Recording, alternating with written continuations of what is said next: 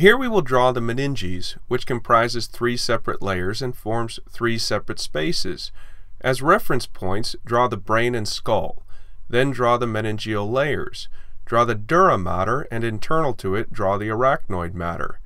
Next, indicate that pia mater covers the nervous system parenchyma. Now draw the meningeal spaces.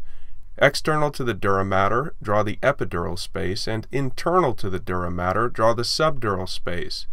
Then internal to the arachnoid mater and external to the pia mater, draw the subarachnoid space. Now let's note a few key anatomic and clinical points regarding the different meningeal spaces.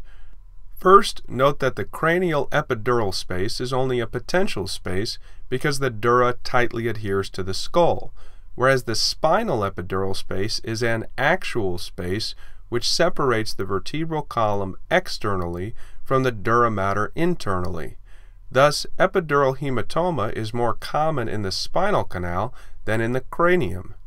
Intracranial epidural hematoma classically occurs when middle meningeal artery rupture rips the dura away from the skull.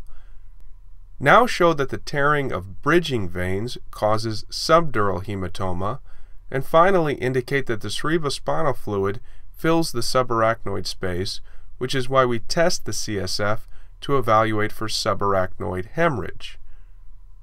This concludes our diagram.